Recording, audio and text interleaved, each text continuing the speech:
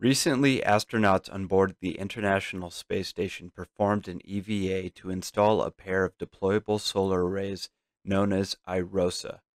This stands for the ISS Rollout Solar Arrays, and they are about to give the station a big boost in energy. This is significant because this technology could have huge use in the future construction of other space stations and it's got me interested in the company that owns this technology. And yes, you can invest in it too. I'm talking about Redwire Space. Hi, I'm Eric. This channel is focused on the space industry, space companies, and space stocks for any potential buyers. Right now, I believe the space industry is emerging into a much bigger market and that will create more investment opportunities. I want to try to cover all areas of the space industry. So if you like this content or want to know more, or if you want to check out other videos, I recommend subscribing and I will provide you with more information and uh, hopefully you'll learn a little bit more. So, Redwire Space is a new company. It was founded in 2020 and it is going to go public through a special purpose acquisition company. Uh, the merger is known as GNPK. So that is the stock ticker you can look for if you want to invest in this company. So Redwire Space was created through a merger of multiple different space companies and it is it has been focused on acquiring other space companies such as Made in Space and deployable space systems. Uh, and they have a lot of interesting technology that is worth talking about. So let's go over some key technology that is owned by Redwire Space. First, the Rollout Solar Arrays, ROSA.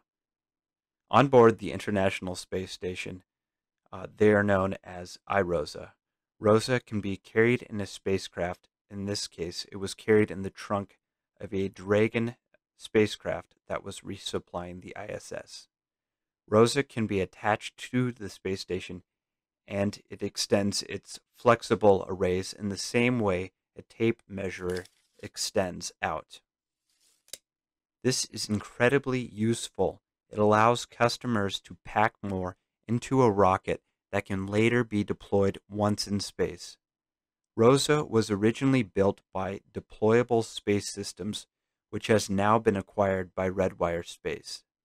And ROSA will be used for more upcoming missions, such as NASA's Gateway space station to be assembled around the moon. Maxar is building the power propulsion element, also known as the PPE, to serve as the solar electric propulsion system for the space station.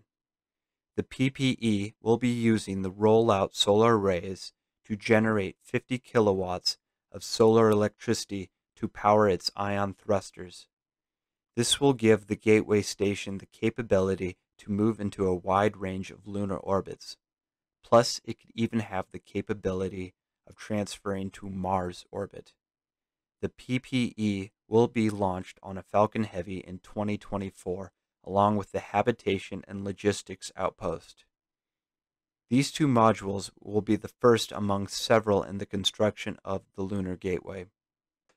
The ROSA technology is being implemented in plenty of other programs too, including the DART mission, the Double Asteroid Redirect Test. This is a NASA space probe that will be launched on a SpaceX Falcon 9.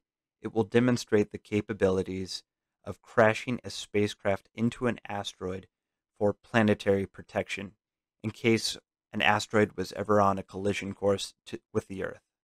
The ROSA design is being used to power the vehicle's solar electric propulsion systems. Axiom Space said they will need rollout solar arrays for the construction of their space station, and Sierra Space signed an in space manufacturing agreement with Redwire Space, which also has plans to build a space station too. ROSA technology is being used for both space stations and space probes. I like how simple and easy to use the ROSA technology is.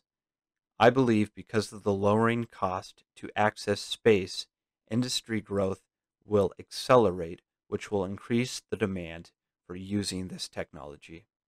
So, as more space stations, space probes, and satellites are being built, Redwire will serve more customers and increase its revenue. By 2025, the company expects revenue to have grown to around $1.4 billion. Redwire also has more interesting technology, uh, such as in space manufacturing systems after acquiring Made in Space. Made in Space has built a number of 3D printers that can be used in microgravity, including the additive manufacturing facility on board the International Space Station. This is capable of creating new parts or tools rather than waiting months for the next resupply mission to the station. Fiber optics, crystals for camera lenses, and improved laser components can be more easily created in the microgravity of space. Also, there are plenty of more materials that could be constructed in microgravity that might be impossible to make on Earth. Bioprinting capabilities are also being worked on. In a microgravity environment, human tissue and organs can be 3D printed without them collapsing on themselves. That would otherwise happen on Earth due to gravity.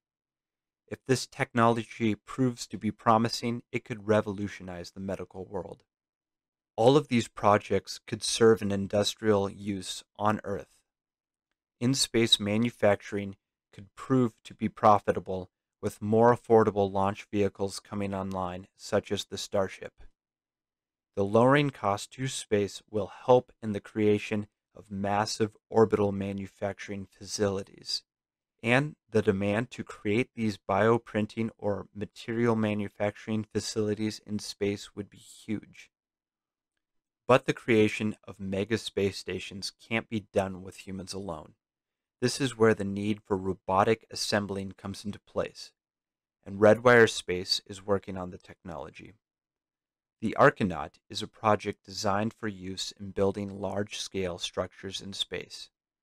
This space robot uses a built-in 3D printer to manufacture parts that can be assembled together in the construction of large structures. NASA has helped fund this program and a demonstration mission is planned to be conducted in 2023 under the name OSAM-2, On Orbiting Servicing Assembly and Manufacturing. OSAM-1 is a similar mission only being conducted by Maxar which will assemble antenna reflectors and manufacture a composite beam in orbit. OSAM-2 will test manufacturing spacecraft parts in orbit and will build, assemble, and deploy its own operational solar array. OSAM-2 will be launched on a Falcon 9 rocket, part of a rideshare mission. This is a key development in the construction and manufacturing of space infrastructure. To summarize, there is already demand and use for Redwire space products, and this demand continues to grow. Affordable launch costs have allowed Redwire to benefit.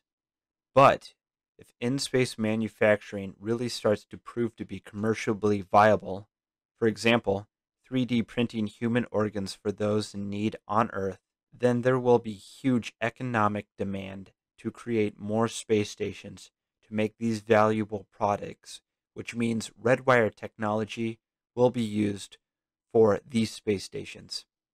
Like the need for ROSA to provide solar energy or robotic assembling to construct these space stations. Also, there will be plenty of need for in-space 3D printing to build other parts and tools for space station construction. If off-world industry proves to be valuable, then the demand to decrease launch cost will accelerate more, allowing even more affordable rockets to enter the market, making room for larger profits. I love how Redwire Space is diversified over many different areas in the space sector. There is a lot more technology that I just didn't have time to talk about, but I plan on talking more in future videos. Redwire is serving leading space missions, and I see this company to continue to grow. There is so much potential here. This is why I'm invested, and I am excited to see this business expand among the growing space economy. And I plan to follow them more and uh, cover more of Redwire Space in future videos. If you enjoyed this video, I plan on covering more of the space industry. I talk about companies like Virgin Galactic, Momentus Space, Rocket Lab, and I plan on talking about many more companies. So if you want to know more, please subscribe and I'll provide you with more content on the space industry and space stocks. So recently, I've been debating whether or not I want to change the name of this YouTube channel. Right now, it's being called the Space Stock Exchange, which it does focus on a lot of uh, stocks that are involved in the space company. But I also want to cover more of the space industry, which is why I have been thinking about changing the name to the Space Strategist. And I would like your feedback. Do you want to keep it at the Space Stock Exchange, or do you want to be? Do you want the channel to be known as the Space Strategist? Uh, please share your thoughts and opinions. That would be nice. Please comment, like, share, and subscribe, and I hope to hear back from you soon. Thanks.